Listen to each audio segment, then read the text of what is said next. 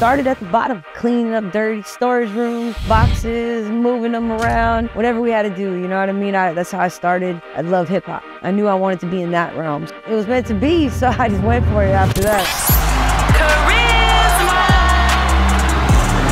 DJ Carisma representing the West Coast, you know, radio personality, DJ, record breaker, trendsetter.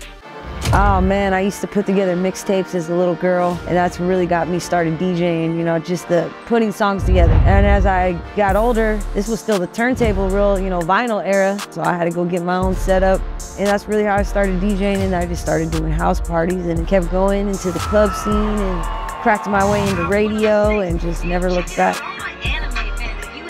It's beautiful now. There's so many female DJs. So I know we've knocked down a lot of walls. As a female DJ, you gotta work extra hard. You gotta have extra skill or someone's always gonna be judging you, ripping you apart. Just be passionate, do it, and you gotta work extra hard. So get used to it.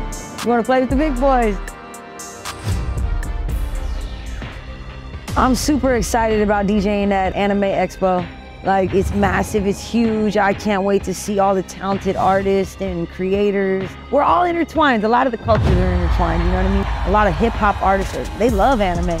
They're into it, they incorporate it into their artwork covers. You know what I mean? A lot of my covers, I dropped a lot of singles. Shout out to McFly, he's a huge anime fan and he's also an artist as well and he drew most of my covers.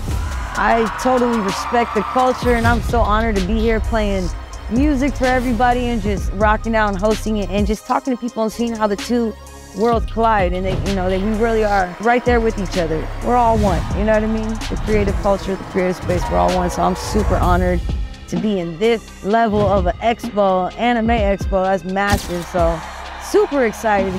Man, we're coming to bring the party to Anime Expo. You know, you guys, everyone's gonna be walking around, checking out all the great booths and exhibits. You're gonna have artists performing, you're gonna have DJs performing.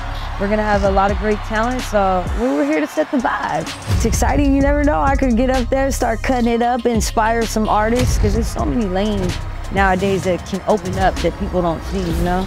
So you just never know, and I can't wait to just walk around and network and see some great talent on that side, you know?